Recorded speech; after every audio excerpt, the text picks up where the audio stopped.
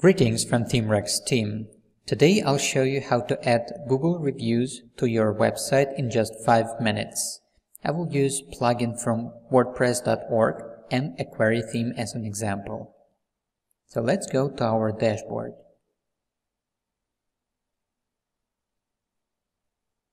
Then plugins, add new. In the search field, type in Google Reviews.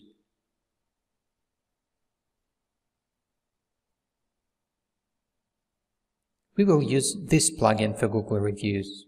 Click Install Now and then activate it.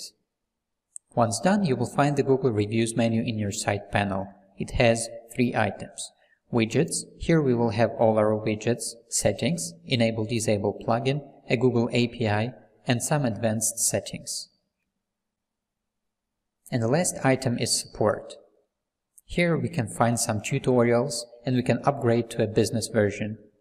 Then we have a full installation guide and official support. So let's return to the widgets menu. Click on the create widget button. Let's give it a name for our widget. Let's say we have restaurant. Then click save and update. Now we will connect to Google. First, we need Place ID. When you click on this icon, you will have two links. One is for Google Places and the other one is a tutorial. So first we need to find our restaurant on Google. Then open the inspector and finally copy the place ID. So let's do this. I will search for my favorite Italian restaurant Le Magnoli. Then click on Google Reviews. After that, right click on the review button. Inspect and here we will copy this data PID. Now return back to our website and paste the ID. Choose the language, in our case it's Italian, and then click Connect Google. Excellent, the plugin pulled the data from Google. Here we have this letter with reviews and sum up information on the left side. Let's go through the settings really quickly. Here we can change the layout from the slider to the list. In common settings, we can customize pagination, character limits, hide some things like based on, quick review button, the entire rating header, or reviews themselves.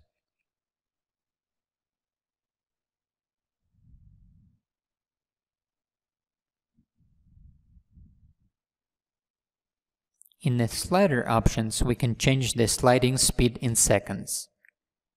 1 second will make it really fast, while 10 seconds will make it really slow. Also here we can control the text height in pixels. The default height is 100 pixels. Then we can hide background and make it transparent. Hide navigation buttons and hide pagination dots. In style options, we can customize the reviews container, its width and height. When you change the value, the plugin automatically rebuilds the layout 1, 2 or 3 columns. You can also control the positioning and set the dark background.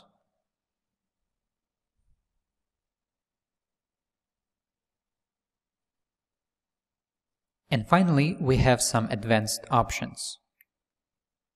You can enable a lazy load for images, use the default reviews link, open links in a new tab, and use a nofollow link attribute.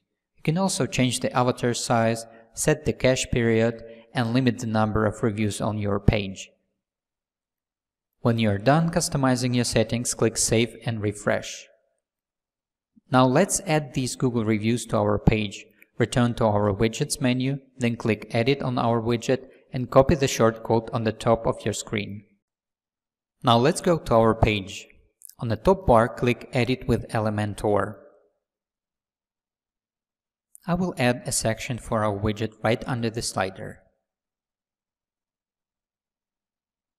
In the search bar, type in short code. Then drag it to our section. Now simply paste the shortcode there. It will appear on our page immediately and finally click Update to save the changes. Now when we go to our website, we will see Google reviews of our restaurant and it will work perfectly. Now the customers can leave their reviews right there by clicking on the review button. Hope this video was helpful. Please subscribe for more useful tutorials.